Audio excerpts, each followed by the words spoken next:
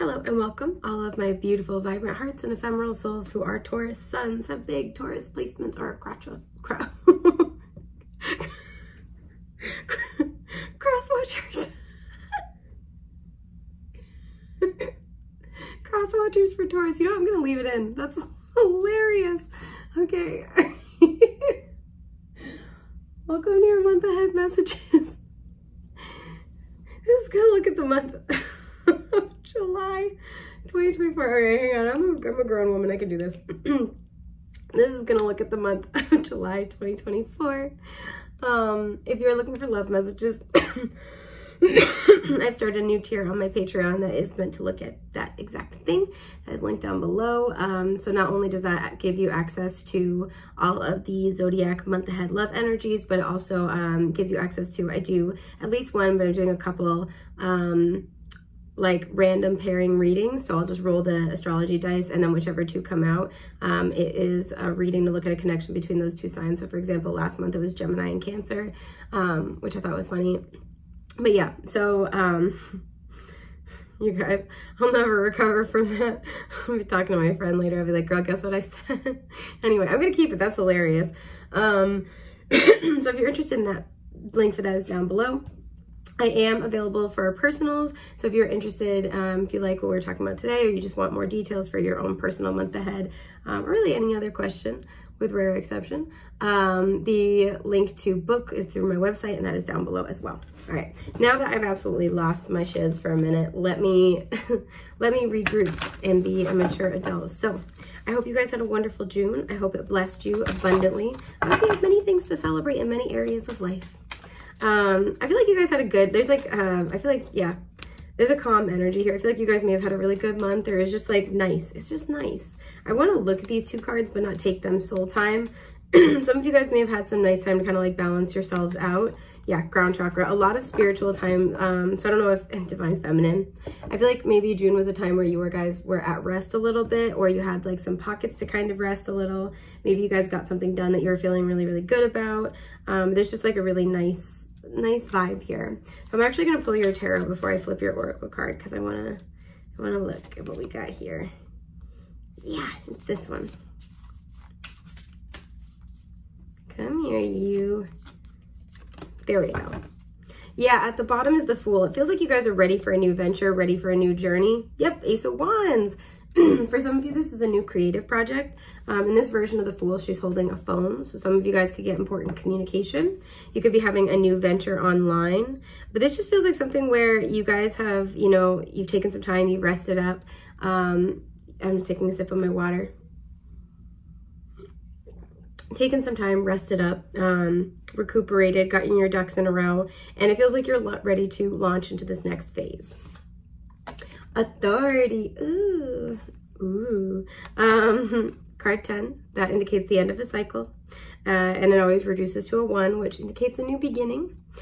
The frequency of authority reminds us that true authority is powerful, directed, and realized, yet receptive, wise, and loving. you guys are in a beautiful balance. So this month, um, some of you guys may have been balancing your divine feminine energy um, in June. Some of you guys that will continue on a little bit into July. But your main energy for the month of July is this personal power as you end the personal power to end one cycle. Um, it feels like to flow with an ending, or again, an ending occurred and then you took some time to rebalance yourself. Some of you guys took parts of June and maybe taken parts of July to kind of make decisions. Like I said, get your ducks in a row um, in order to make the best and most empowering decision for yourself. This feels like a, sometimes when this card comes out, just depending on other cards, I'm like, ooh, okay, you're taking back your power. You're making like a tough call, but it's a good one. This feels like this is very calm. This is very receptive. This is very um, open to what spirit has to bring you. The fool is somebody who has no baggage, right? Very little baggage. They've really processed everything. Um, they move forward with a spring in their step step with levity. Um, and there's a trust in the universe. So the work that you guys have been doing to kind of rebalance yourselves um, and find stability emotionally as well as kind of heal and release is really paying off because this month it feels like your main energy is that you have um, the sense of power while also being co-creative with the universe. Sorry, I was like, "What is that sound? Um, which I think is really beautiful. So yeah, you have the Ace of Swords. So two aces have popped out so far. I love that. We love that for you. The Tower. Ooh, okay. This actually feels very positive here, though. The Queen of Pentacles. There you are. Taurus, Virgo, Capricorn. And the Nine of Cups. This is beautiful. Oh my God. Can I be a Taurus this month? Because I want this. Um, so this is really lovely. A lot of you guys, it's interesting. We talked about the 10 also reducing to a one and then boom, here's an ace. Um, a lot of you guys, you know, with that Ace of Wands we saw popping out earlier, you've been feeling inspired to maybe make some changes, go in a new direction, even if you're not sure exactly what that is. Bam, you're getting the clarity you need. Some of you guys are getting communication. We saw that with the image of the phone in her hand and the Fool card. You're getting um, communication, you're getting insight, maybe seeing information online that's going to help redirect you. Um, some of you are getting an email that you got the job. That's very specific, but getting an email that you got the job. Some of you, see on this version of the Nine of Cups, they're all trophies. Some of you, um, you're getting an award or an accomplishment this month. You're getting something that makes you feel accomplished. But I'm seeing that you're having clarity, you're having communication, you're having breakthrough um, about what direction to go in or possibly presenting an offer. It feels like there's an exchange as well because something I'm noticing is it's the hand is offering the ace like toward this direction and the queen is offering her pentacle. So for some of you, this could really be a job um, because the, the tower is in the middle. Some of you, you are getting the opportunity to move. Some of you, you're going to be signing a lease, right? Again, there's like um, the document is being offered and the money is being offered in exchange. Um, like I said, some of you are getting a new job, possibly signing a new contract. Um, as always, you know, look over things with a discerning eye, but I feel like you guys are in a very, very good place with this. Some of you, you are um, signing new paperwork when it comes to how to invest your money.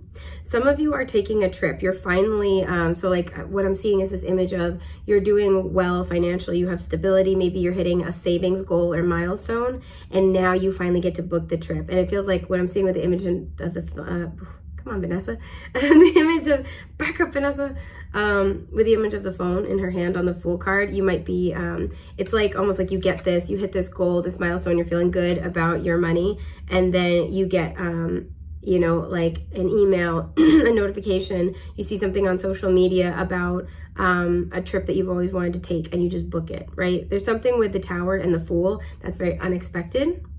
Sharp left turn. So some of you guys you're just kind of like, all right, yeah, let's go for it. And with the Nine of Cups, this is something that you have been wanting or something you do want. Again, whether it's something you impulsively go for or it's something you've been planning for a while and now you finally get to do it. Um, you guys have reached, like I said, a milestone with the Nine of Cups where you feel like you're in a good place. You feel like, like let's even say you hit a savings goal, so financially you're happy with, but this may have been something where it's like, cool, I did it. You know, I did a no spend challenge or it was really my goal to, um, save up this much in my vacation fund and I, I had a lot of discipline and I did it, right?